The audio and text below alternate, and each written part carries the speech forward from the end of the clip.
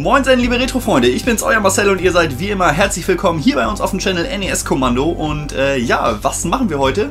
Wir fahren heute mal los, ich äh, werde gleich den Gansel abholen und dann fahren wir zum guten Flo, der wohnt hier bei uns in der Nähe und da werde ich zwei äh, Games für meine NES-Sammlung abholen, auf die ich schon sehr, sehr, sehr scharf bin. Die hat der Flo schon seit einiger Zeit bei sich liegen. Und ähm, heute ist es endlich soweit. Ich kriege diese beiden Spiele. Es handelt sich dabei um zwei ziemlich seltene Perlen für mein, für mein PAL B-Set. Und äh, da nehme ich euch heute mit. Wir fahren hin, mal gucken. Der Flo, der hat uns eingeladen, bei sich auch zu filmen, kleinen Kaffee zu schlürfen und einfach auch mal seine Sammlung zu zeigen, denn er hat wohl auch ziemlich geile Sachen da. Ja, mal gucken, was sich so ergibt. Äh, ich werde auf jeden Fall euch mitnehmen, natürlich dahin. Und dann schauen wir mal. Wir sehen uns dann nachher äh, auf jeden Fall nochmal wieder. Wenn äh, ich wieder hier bin sozusagen, dann zeige ich euch die Games nochmal ganz genau. Erzähle nochmal ein bisschen was dazu, worum es sich eigentlich genau handelt. Und erstmal würde ich sagen, wir machen uns auf den Weg und ja, liebe Freunde, auf geht's.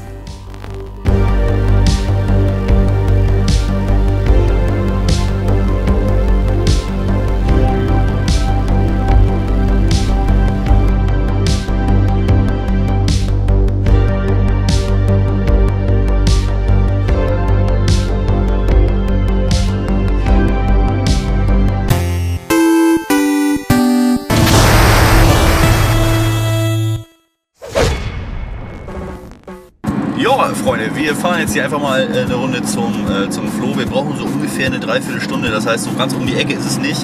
Aber äh, in Holstein ist ja eh immer alles so ein kleines bisschen weiter auseinander. Der Jansel ist so gut und filmt mich hier bei der Fahrt. Äh, vielen Dank. ähm, so, dass wir, äh, ja, dass ich ein bisschen erzählen kann, ähm, wie das zu dem Deal überhaupt kam. Und zwar, der Flo, äh, der schrieb mich an vor, einiger, vor einigen Wochen und da er hat mir mal so einen kleinen Tauschdeal. Er hat irgendwie ein Spiel von mir bekommen, ich glaube Chip and Dale oder so. Und er war so nett und hat mir zwei Anleitungen geschickt und ähm, so eine kleine Yoshi-Figur. Und so habe ich äh, vor Weihnachten mal, mal angeboxt, sein Tauschpaket. Äh, und ähm, hier Ariel für, für den Gameboy war da auch bei. Und ja, denn äh, ja, wir kamen so ins Gespräch und irgendwann schrieb er mich an und fragte mich, hier brauchst du äh, dieses und jenes Game noch. Oder ich habe hier gesehen, du brauchst dieses und jenes Game noch, ich habe die gefunden äh, und dann sagte er mir Preise dazu, wo ich äh, irgendwie schlucken musste, weil ich das für völlig unrealistisch hielt. Die beiden Spiele, um die es jetzt hier heute geht, sind sozusagen auch nur eine Essenz ähm, von den ganzen Games, die er gefunden hat für mich. Wie das dazu kam, weiß ich jetzt gerade selber nicht. Also wie er überhaupt auf die Suche äh, gegangen ist und so, das, das muss er uns nachher selber sagen. Aber das Ding ist jedenfalls, dass die Games aus Spanien kommen und das immer so eine Sache war, ob die ob die ähm, Inhaber der Spiele denn überhaupt bereit waren, die Games eben nach Deutschland zu schicken. Das ist nicht immer so äh, einfach gewesen und bei den meisten war es leider nicht der Fall. Da waren nämlich auch noch ein paar andere sehr, sehr interessante Games bei. Ähm, bei den beiden, die wir jetzt abholen, ähm, da, ist, äh, da war das aber anders. Die Verkäufer haben gesagt, ja, das ist kein Problem, können wir machen. Und ähm, Freunde, die Preise für die beiden Games, äh, sage ich euch nachher, das ist absolut unschlagbar äh, gemessen an dem, an dem Wert der Spiele. Denn an diese Games ranzukommen, ist hierzulande wirklich echt eine Aufgabe für sich. Ja, ich hab's, ähm, jetzt quasi vor und äh, die Games liegen also schon seit, äh, seit einigen Wochen beim Flo und bin sehr gespannt, auch wie die vom Zustand her sind und wie die so aussehen. Und die ganze Story gibt's dann eben gleich, wenn wir da sind. Ja, so sieht's nämlich aus.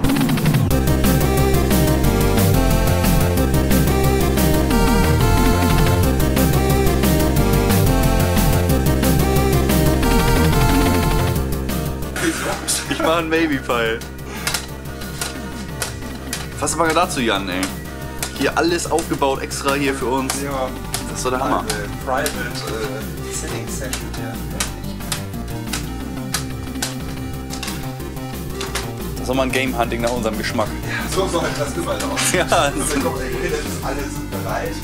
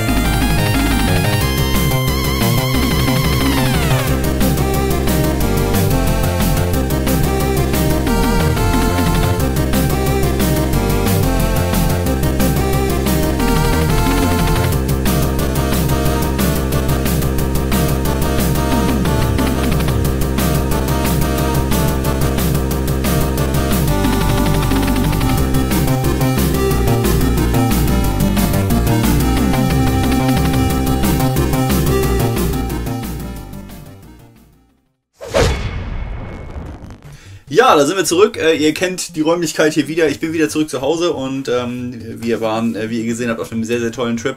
Vielen Dank nochmal an äh, Florian und seine Verlobte, dass ihr uns da so ja, nett aufgenommen habt. Äh, danke für Speis und Trank und für den, äh, für den netten Nachmittag.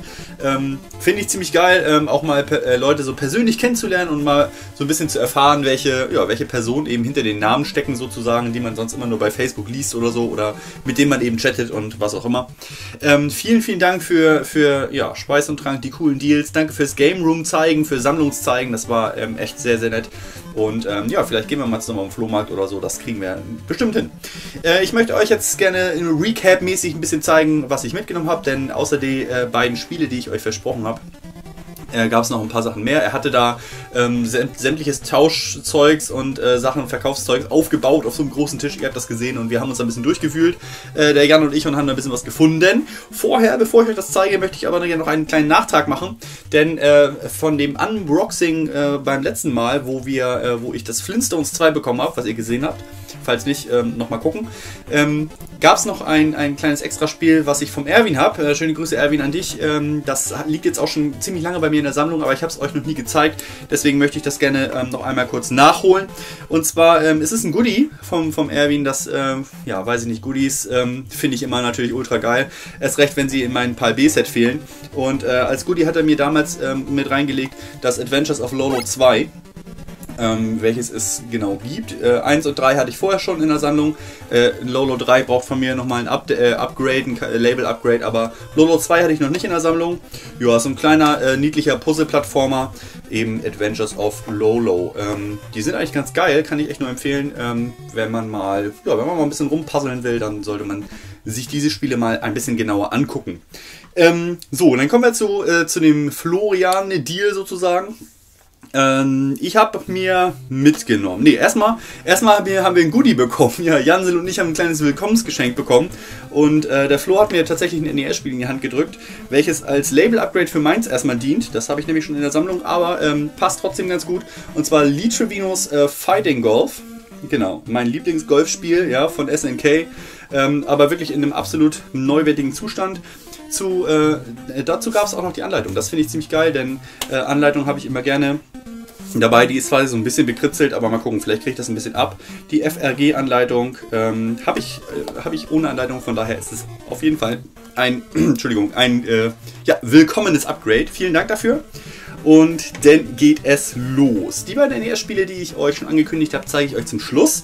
Erstmal habe ich mir noch mitgenommen für einen Gameboy ein kleines, äh, aber feines Spiel. Habe ich äh, irgendwann mal beim Weidemann gesehen und wollte ich unbedingt haben. Und zwar äh, Firefighter. So sieht das aus. Mal kurz gucken, ob wir mit der Beleuchtung so hinkriegen. Firefighter für den äh, Game Boy. Jetzt haben wir es. So sieht das aus. Genau. Ist ein kleiner äh, Plattformer im Feuerwehrsetting sozusagen. Und ja, fehlte mir auf jeden Fall noch in der Sammlung. Wollte ich gerne haben von Mindscape, glaube ich. Ist das von 92. Ähm, Habe ich mir mitgenommen, hat er mir äh, für einen sehr guten Kurs mitgegeben. Und noch äh, ein PS3-Spiel. Da bin ich äh, beim Fritz fündig geworden. Das habe ich mir damals äh, vor, vor einer Woche oder vor zwei Wochen oder so kam das. Äh, da hat, es, hat der Fritz das mal erwähnt in seinem Video und da habe ich mir das gleich auf die Wantlist geschrieben. Und hier im Pappschuber äh, Knights, Knights, Knights Contract. Ja, Knights Contract mitgenommen für die PlayStation 3. Ist so ein Hack and Slash, ähm, welches ich auf jeden Fall, Fritz meinte, es sei sehr kurzweilig und hier die UK-Version, äh, sehr kurzweilig und ich fand es da ähm, grafisch ganz nett gemacht aus. Und auch das habe ich für einen sehr, sehr guten Preis dann mitbekommen. So, ähm, dann gab es noch zwei NES-Spiele im OVP. Die sind allerdings nicht für mich, sondern die gebe ich mal an den Maniac. Und ähm, das ist einmal das Trojan von äh, äh, Capcom und Defender of the Crown von Percom oder Konami. Und äh, zu, beiden, zu den beiden Games, äh, glaube ich, kann euch der, kann euch der Maniac äh, mehr sagen. Ich gebe sie mal eben rüber. Na dann mal her mit den guten Stücken und danke Marcel dafür, dass du mir die Spiele mitgebracht hast und Kommandogrüße an Florian. Es geht einmal, wie Marcel richtig erwähnt hat, um Defender of the Crown. Das Spiel ist komplett und in einem ziemlich guten Zustand. Und ja, wie Marcel auch schon erwähnt hat, ein Palcom-Titel bzw. Konami.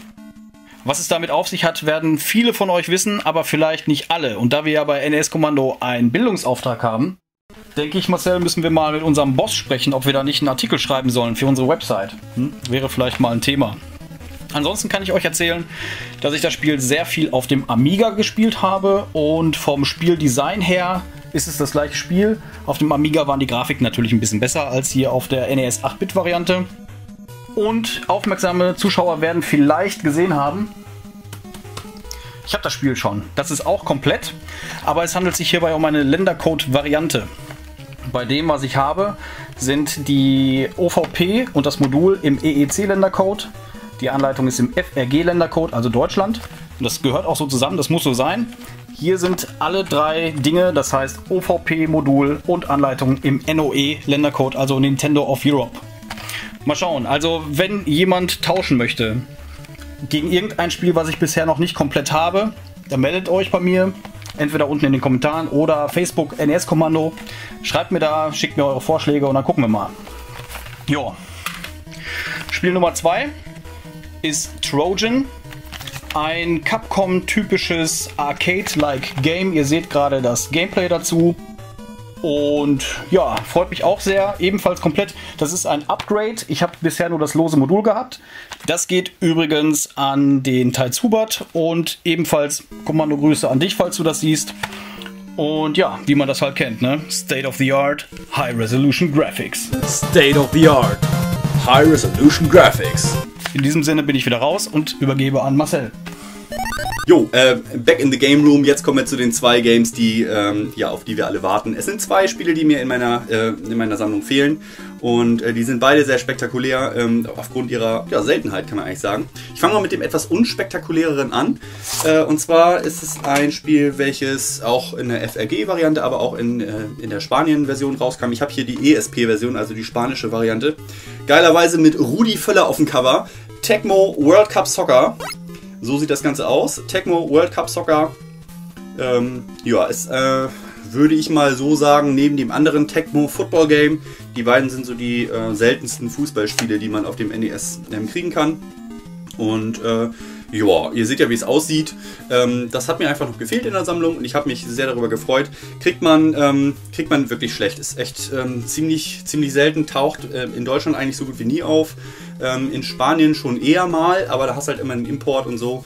Äh, die Story, die dahinter war, ähm, die hatte äh, Flo mir so halb erzählt. Es war irgendwie, er hat für seine Sammlung Games in Spanien gesucht und ähm, ist dann über eine App gestolpert, die er gefunden hat, ähm, wo man eben nach Spielen suchen kann und hat über diese App dann wiederum ähm, ist er so an spanische Privatleute rangekommen, die äh, Spiele verkauft haben zu, zu Top-Preisen und ähm, die meisten davon wollten, hatte ich ja schon erwähnt, nicht ins Ausland liefern, aber äh, zwei jetzt nun doch und das äh, in einem Fall eben Tecmo World Cup Soccer. Ähm, das andere Spiel kommt leider von einem anderen Verkäufer, sonst hätte man sich nochmal Versandkosten gespart.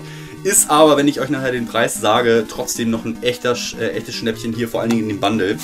Hammer, hammer krass. Ähm, wir hatten eben schon Lee Trevinos Fighting Golf und ähm, letztens hatten wir ja auch Guerrilla War und was weiß ich. Heute kommt es dazu, dass ich mein SNK Subset voll mache und in meine Sammlung kommt das doch echt überaus seltene POW oder Prisoner of War. Sieht so aus. Prisoner of War, den Aufkleber unten hier, den muss ich nochmal abknibbeln. Aber ansonsten, Prisoner of War ist wirklich, ähm, ja, ist ein ähm, Beat'em Up, würde ich jetzt mal so sagen. Ein Beat'em Up, ähm, ja, und ist das letzte mir noch fehlende SNK-Spiel. Ähm, Spanien exklusiv. Und äh, warum, weiß ich nicht, äh, wie so viele Spiele Spanien exklusiv sind, dieses eben auch. Prisoner of War, ähm, geil. Finde ich, find ich richtig, richtig geil. Habe ich ähm, lange gesucht und äh, vor allen Dingen lange für einen guten Preis gesucht. Ich habe jetzt hier für beide Games, kann ich ja mal sagen, ähm, für diese beiden Games hier, Tecmo World Cup und äh, äh, POW, habe ich jetzt zusammen inklusive Versand einen 100er bezahlt. Ähm, klingt erstmal viel. Erstens, die Spiele sind super selten. Ähm, und für POW ähm, werden echt teilweise Preise aufgerufen, die weitaus, allein schon für dieses Spiel, weitaus über 100 Euro liegen. Und von daher freue ich mich. da gibt es eine geile Geschichte. Ähm, wir hatten mal, es gab vor einigen Monaten mal eins in Spanien bei eBay zur Auktion und äh, Mindestpreis waren 30 Euro.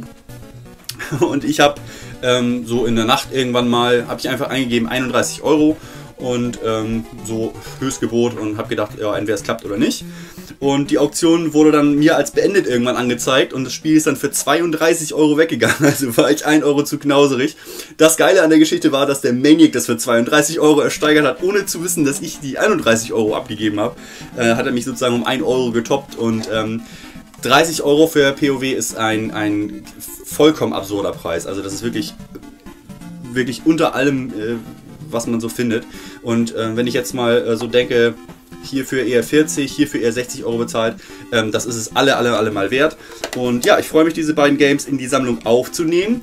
Und äh, jetzt äh, mit diesen beiden Games in der Sammlung fehlen mir also noch äh, elf. Mir fehlen jetzt also offiziell noch elf Games.